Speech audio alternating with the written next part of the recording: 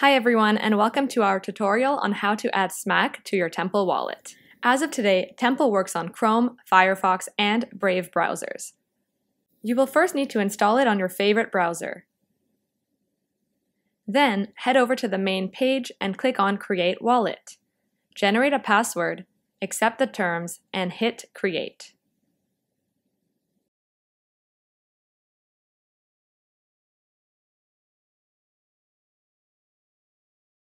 Then click on Protected in order to see your seed phrase. Don't forget to write it down and keep it somewhere safe. Now that you're connected, click on Manage, Add Token, select FA 1.2. Copy and paste the official SMAK contract address into the address field.